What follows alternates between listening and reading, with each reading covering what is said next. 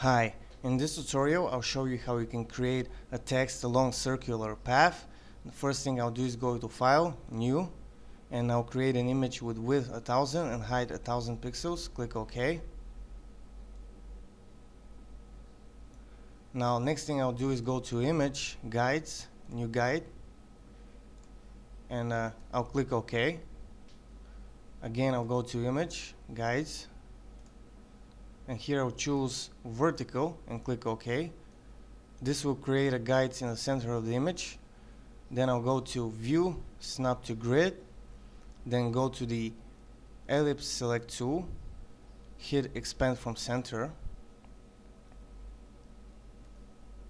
Then I'll hold down the Shift key to create a circle like this. Click Enter. Then um, then I'll go to select to path. Here I'll make this path visible and use the shift control A to make the selection go away. Now next thing I'll do is type in some text here. Let's say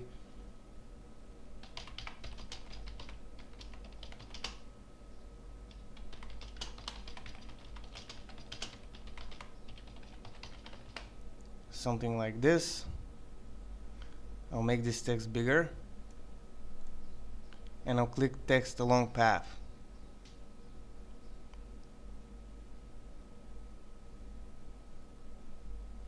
Now let's close this and uh, get rid of this layer here.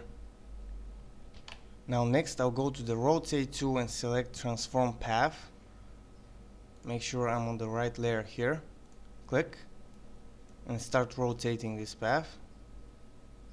Something like this.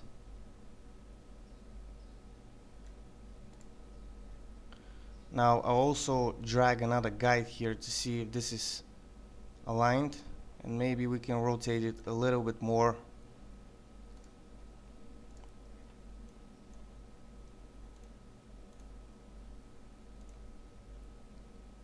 Maybe a just a little more and now let's go to the move tool to see if this is aligned well. And yes it is. Now let's get rid of these guides.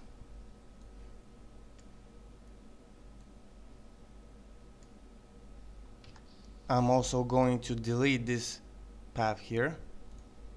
And here I'll select uh, this option path to selection. And I'll use control comma to fill in with black color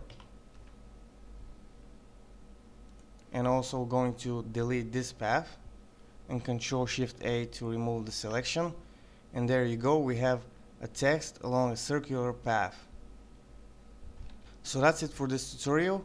And if you like the tutorial please subscribe like the video and share it. Bye for now